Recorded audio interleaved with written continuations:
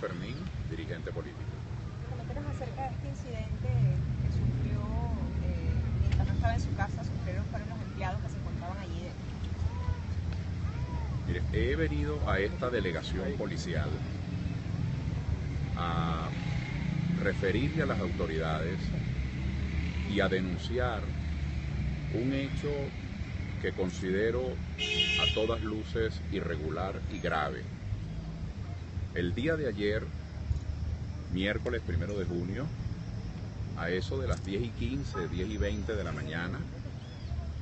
eh, tres hombres armados irrumpieron violentamente en mi casa en contra de la voluntad de la persona que les abrió la puerta, ya que ellos indagaban si en esa casa vivía Claudio Fermín. Y de alguna manera lograron que una señora que nos ayuda cuidando a mi suegra, que es una persona de muy avanzada edad y con graves problemas de salud, esta señora, esta muchacha que, nos ayuda a cuidarla, abrió la puerta y simplemente la violentaron, la empujaron, entraron los hombres armados a mi casa preguntando si yo me encontraba en ese momento allí. Registraron pues todas las habitaciones, los ambientes, los baños, abrieron closet y no se llevaron ni un lápiz y al observar que, que, yo no estaba allí, pues se marcharon. Fue una operación que duró entre unos 17, 19 minutos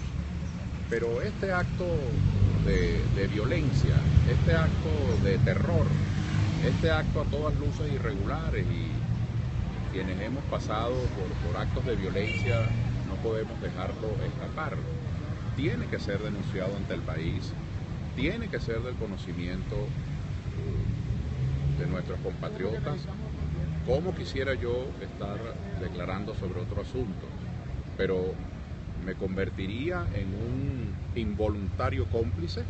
si mantengo silencio sobre este hecho tan, tan, tan triste, tan, tan grave,